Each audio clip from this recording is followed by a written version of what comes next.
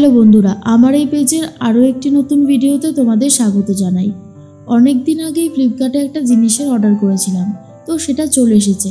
চলো, ভালো করে প্যাকেটটা খুলে দেখে নেওয়া যাক ভেতরের জিনিসটা ঠিক কেমন। এবারে এটাকে আস্তে আস্তে খুলতে হবে। কাঁচিটা দিয়েই খুলি, না হলে পারব না। ফ্লিপকার্টের প্যাকেজিংটা খুব ভালো করে, আমি এটা বরাবরই লক্ষ্য করেছি। দেখো, ভেতরে আরও একটা প্যাকেট দিয়েছে।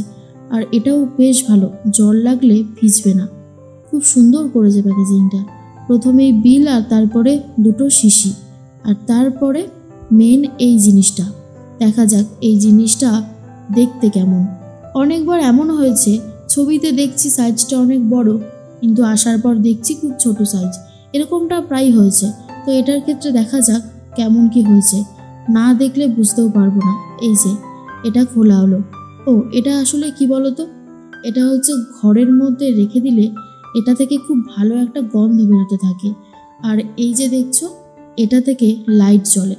তারাও তোমাদের খুব ভালো মতন দেখাচ্ছি। আগে শিশির গন্ধগুলো একটু দেখে নিলাম যে না, ঠিক আছে। আমি একটা অর্ডার দিয়েছিলাম চন্দন আর একটা অর্ডার দিয়েছিলাম জুই ফুলের। এই দুটো দু রকমের গন্ধ আছে। এবার দেখি, এটা থেকে আদেও গন্ধ বেরোয় কিনা। প্রথমে এটার উপর একটু জল ঢেলে দিতে হবে, একদম সামান্য। এই যে, জল ঢেলে দিলাম, আর তারপর এই জুই আর চন্দন, দুটো গন্ধ রয়েছে। আমি এক কাজ করি, জুইটাই বরং আগে ঢালি।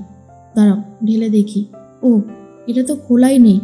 আগে এটা আমাকে ভালো করে কিছু দিয়ে ফুটো করে নিতে হবে, তাহলেই হয়তো পড়বে। এই হয়ে গেল ফুটো করা। এবারে আমি এটাতে দেখি, দিয়ে দু ফোঁটা। আদেও কাজ হয় কিনা। ছোটবেলায় যখন ডাক্তার কাকুর কাছে যেতাম, জিভে দু ফোঁটা ওষুধ দিয়ে দিত, হোমিওপ্যাথি ওষুধ।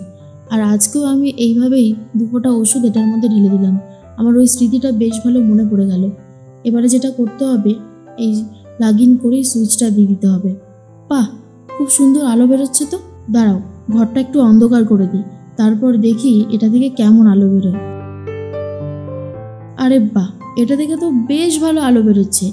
আমি ভাবেইনি এতটা আলো বেরোবে, দেখো।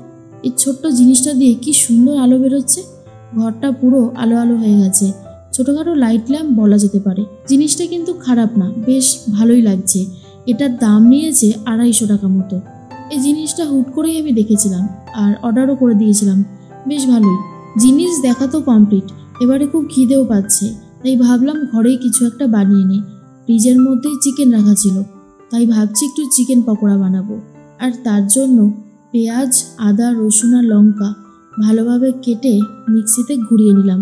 এবারে যেটা করব, এই মাংসের মধ্যে মশলাটা দিয়ে দেব আর একটা ডিম ফাটিয়ে দেব। ব্যাস, একটু ভালো করে এই চামচটা দিয়ে নাড়াচাড়া করেই একটু নুন দিয়ে দেব আর সাথে লঙ্কার গুঁড়ো। এরপর একটু গোলমরিচ গুঁড়ো করে রেখেছিলাম, সেটা দিয়ে কর্নফ্লাওয়ার দিয়ে ভালো করে মেখে নিলাম। আমি প্রথমে দুটো জিনিস দিতে ভুলেই গেছি, একটু জিরের গুঁড়ো আর একটু লেবুর রস। ব্যাস এই দুটো দিয়ে আরও খানিকক্ষণ রেখে দিলাম। দেওয়ার পরেই তেলটা গরম হচ্ছে।